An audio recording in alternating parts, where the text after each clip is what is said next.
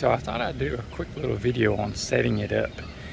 And if you watched our last camping video, you'll see that we set this tent up because of the rain and we used it to cook in and set in to stay out of the rain, yet still be able to see the lake. So let's go ahead and pull the tent out. I've got it in the Cherokee.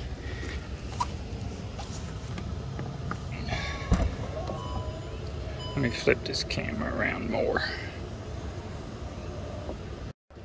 As you can see, it does fit crossways in the back of the Jeep hatch. And I got this at Academy Sporting Goods. And it is O'Rageous brand.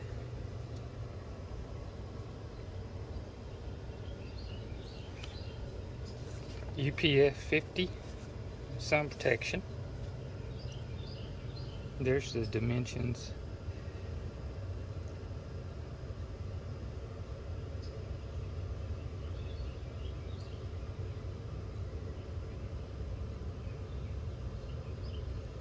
So I'm gonna set this up so y'all can see it.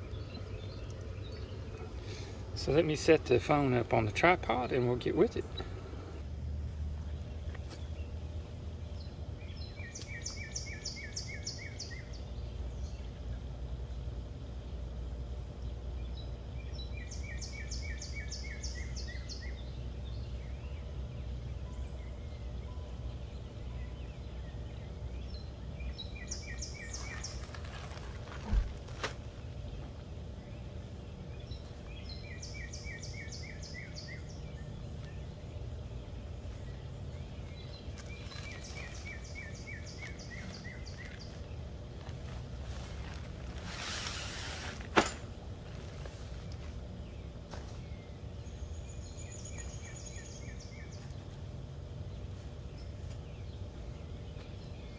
Comes with the bag of stakes, instructions, and a patch kit.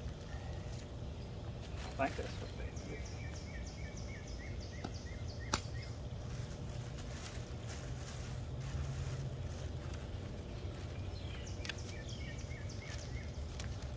A tent or floor kit.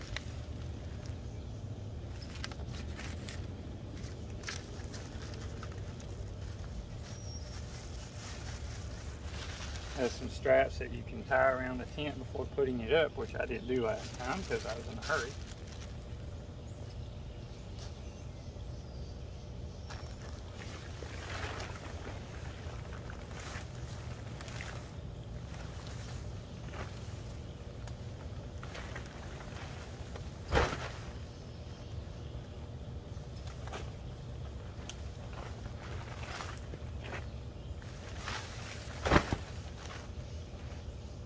everything just pops out. And we put it around y'all.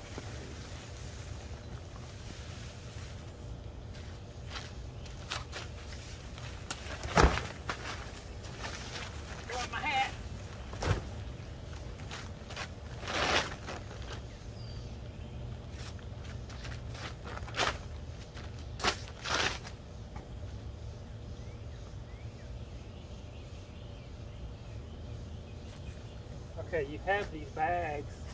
If you're someplace you can't stake it down, you can put weight, sand, rocks, whatever you have in these bags to help hold it down.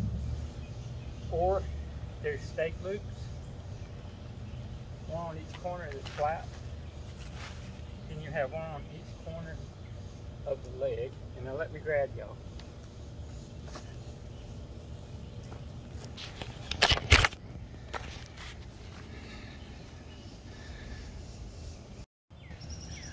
So those are the sandbags.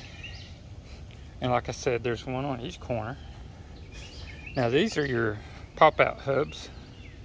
And you have a handle that you can yank it out with if you don't want to go inside and do it the way I did it.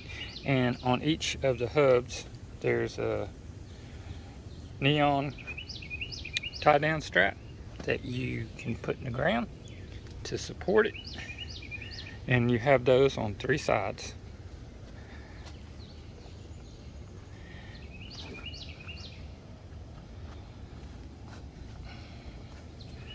Third side over here and then you have one up on top.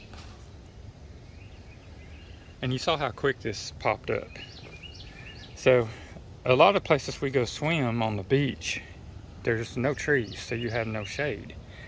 And you're right in the sun. So if you get one of these, you can get in there and they are uh, have 50 sunblock so you're getting some protection from the sun and as you can see inside the bottom has netting.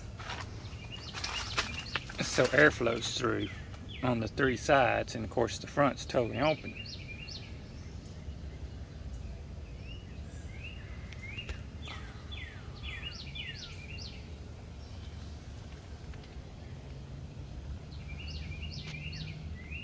Now, we set this up, that's one reason I wanted to set this up because I can clean it up. But we set this up our last camping trip and we was in rain and uh, we got over three and a half inches of rain. So we set this up and I had my lawn chairs, a small table, my big Coleman camping table with my Coleman stove and we used this to cook in so I could cook out of the rain yet not have to cook in the big tent that we were staying in. So I didn't smoke it up. And I did make coffee in our big tent, but the bacon and eggs was cooked in this tent. You can go back to that last video where we was camping Big Fir, and you can see the setup uh, we did with it. And uh, although we didn't use it as a beach tent on the beach for swimming, we did use it for that, and uh, it came in really handy and uh, while it was raining, we sat in there and watched the boats on the lake and stayed out of the sun. And there was breeze coming through there, so uh, we stayed comfortable. Now it did get hot later in the day. The rain passed on through, and we did get in the lake. But we just left this where it was. Now the wind did get up pretty high after the rain moved out. For some reason, the wind got really hard, and this thing stayed rock solid. So I think on a windy beach, it would do just fine. But I just wanted to show you how quick it is to set up and how it doesn't take up a lot of space in your trunk. So it is a good extra piece of equipment to have for your overlanding, camping, beach adventures. Thank y'all for watching. Please subscribe to the channel if you haven't already. Give us a thumbs up and be sure to comment and ask questions in the comment section. Thank you.